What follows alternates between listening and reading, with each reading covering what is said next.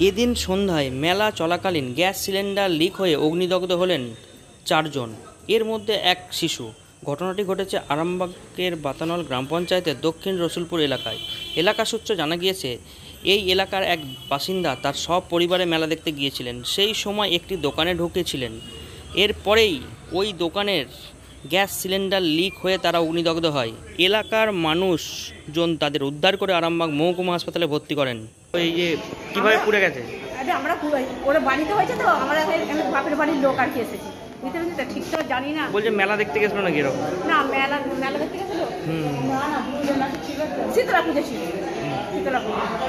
এবার তো ঠিক মতো জানি না ছুটে এসেছি কোথায় বাড়ি আপনাদের? আমাদের বাড়ি। আর এনাদের কোথায় বাড়ি? শেখপুর লচুলপুর। হ্যাঁ শেখপুরে লচুলপুরে বাড়ি। রসুলপুর হ্যাঁ সেক্টর হ্যাঁ হ্যাঁ। কীভাবে কোথায় গেছিলেন আপনারা? মেলা ছিল মেলা মেলা হচ্ছিল। হুম। জিনিসটা কম ভাজা হচ্ছিল। হুম। তারপরে পাইপ আছে না হুম। খুলে গেছে পাইপটা খুলে কোথায় মেলা দেখতে গেছিলেন আপনারা? উত্তর রসুলপুর। রসুলপুর? উত্তর রসুলপুর। কে কে গেছিলেন আপনারা?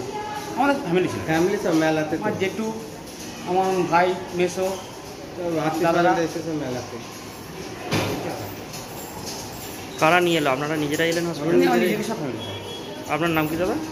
সর্বরাম কোথায় বাড়ি আপনার? বাতানাল। উত্তর মোট কতজন রয়েছে আপনাদের? চারজন। আমার হয়েছে আমার জেঠুর হয়েছে আমার একটা বোনের হয়েছে আর মেসোর হয়েছে।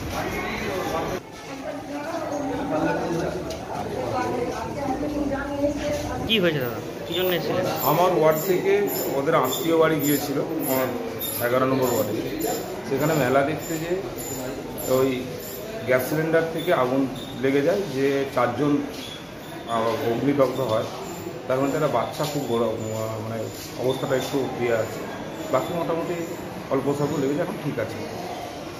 সেই জন্য দেখতে এসেছিলেন? হ্যাঁ আমি সেই জন্যই এসেছি মনোরম পরিবেশে গড়ে ওঠা ইন্ডিয়ান ও চাইনিজ খাবারের সুলভ মূল্যের restaurant, Asmita hotel and restaurant.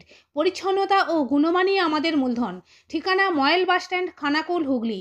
যোগাযোগ nine five six four eight eight seven five five zero, seven six nine nine three four four eight six four এবং eight six three seven zero six four zero zero one.